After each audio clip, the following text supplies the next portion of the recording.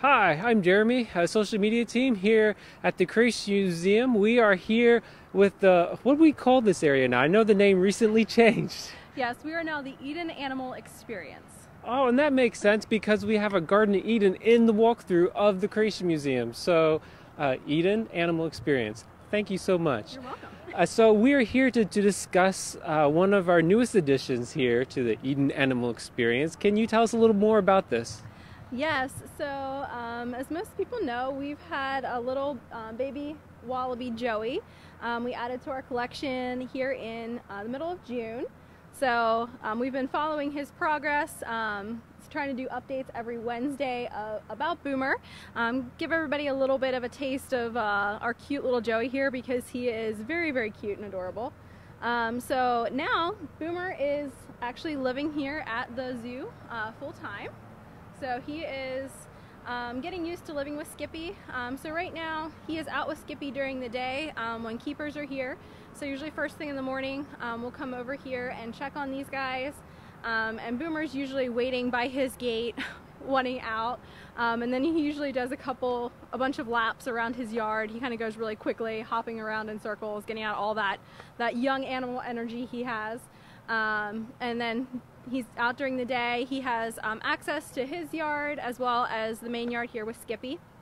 Um, and then in the evening, he gets his bottle, he gets an evening bottle, and then we'll um, lock him up in his yard, his side yard here for the night.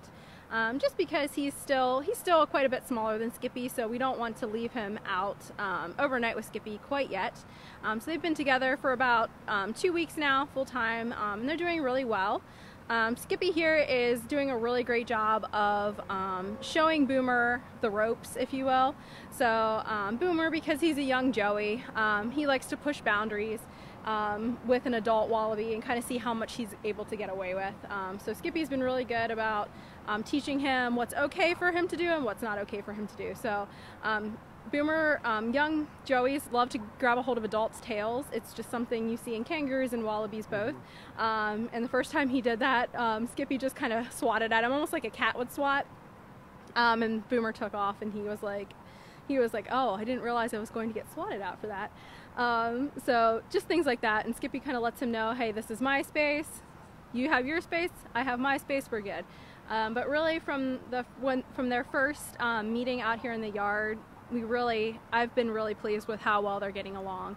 Um, and a lot of that had to do with the fact that we did have Boomer out here in the yard with Skippy um, in his little holding area over here um, where they could see each other, smell each other, hear each other um, for almost two months. So that really, really helped them. He got used to, he got used to being um, around Boomer and Boomer got used to him um, so that was a really, really good thing that we were able to do for, for these guys. So um, they're getting along really well. And with the cooler temperatures, these guys are going to be more active. So um, there for a while, we had a lot of heat. Um, it was really hot. So during the day, Skippy would be in his barn, Boomer would be in his in his little um, run-in over here and under their fans, and yeah, they were they were pretty much just like, yep, it's really hot. But uh, now that it's cooling down, they are going to be much more active. So, and we usually typically try to provide their enrichment a little bit after midday.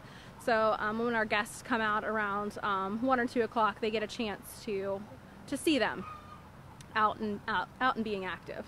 So. So we were trying to find an emoji to associate with this live stream. We were looking for like a kangaroo emoji. Now we no, know that there's not we know that wallabies aren't kangaroos, yes. but they're in the same kind, right? Yes. So wallabies and kangaroos are members of the same family or created kind. Um, it's called the macropod kind. Um, and macropod, um, it refers to their big back feet. So kangaroos and wallabies both have very large um, back feet, um, and that helps them hop um, and do that, that traditional hop that we associate with kangaroos. Um, a lot of times people think, come out here and think we do have kangaroos here. Um, so these guys get called kangaroos all the time, uh, but because they are members of the same family or created kind, we're able to just explain to our guests, well, you're, you're mostly right. They are in the kangaroo, the kangaroo kind. Sure. So I am on the live stream here right now. We're looking at the comments. So if you happen to have any comments why we're live streaming, feel free to ask, but we'll come back afterwards and answer those as well.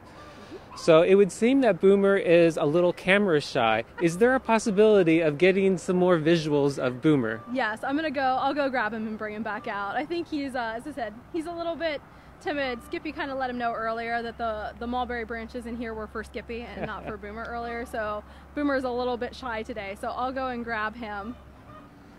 All right, so we are waiting for Boomer to come out. So right now we are with Skippy, uh, a kangaroo, and you can come out to the Creation Museum right now and see Skippy in action. So, like uh, Leanne said, to come out during the middle of the day. All right, here's Boomer right now. So he's just he he says it's nap time. So he actually went in the barn and was all lounged, just in the bedding, just hanging out. So right now what we're doing, if you notice he's got his harness on and I know we posted um, a picture a couple weeks ago um, about his harness. Um, we are in the process of harness training him, so getting him comfortable to wearing that harness. Just so when we when he gets bigger, um, we can still use him for animal encounters or animal programming.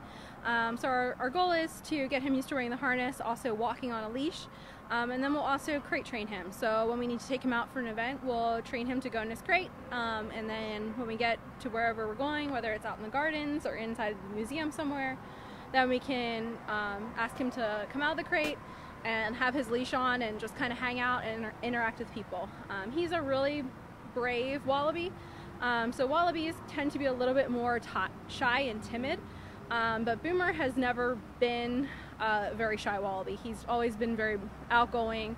Um, not a whole lot really scares him, other than obviously today Skippy. He's he's a little bit not sure um, and Skippy's hanging out with us, so Boomer's kind of like I don't know, but um, overall he's a he's going to be a really good um, program animal, um, just because he is very nothing really bothers him at all. So and also just um, as we've been raising him, we've been trying to put him in different situations that might be a little bit scary, so he can get used to them. So large groups of people.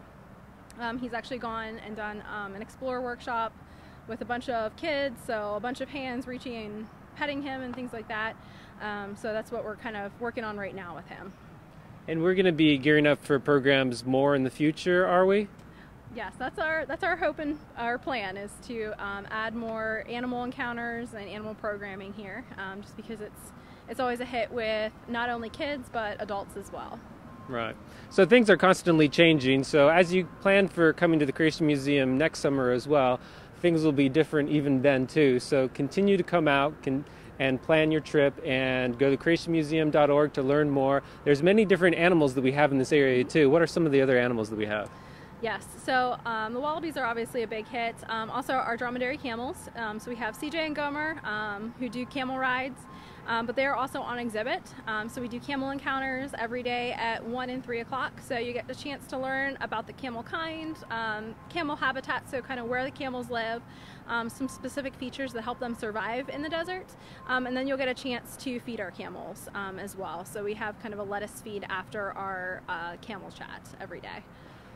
And this is a unique experience because not only are you coming to the Creation Museum and you're seeing the animals, but you're getting it from a biblical foundation. So from you know the start of God's Word and how God created all the animals and all that. So when you have your animal encounters, you know it's not only factual in terms of what you're learning about the animals, but you also try to kind of keep it to you know bringing it back to the Bible. Yes, so um, in all of our animal encounters, we obviously stress the concept of the biblical kind. Um, but even when we talk about different um, adaptations, um, we talk about it from a biblical perspective that um, defense and attack structures, especially, we try to always go back to the Bible and um, God's Word and explain it from a biblical perspective. Right. Well, thank you so much for joining us here today. We hadn't done a live stream and check up on, on Boomer in a while, so we are very excited to come out here and keep checking back every Wednesday for a Wallaby update, and we'll see Boomer's progress and maybe get an uh, idea how Skippy's going as well. Thank you so much.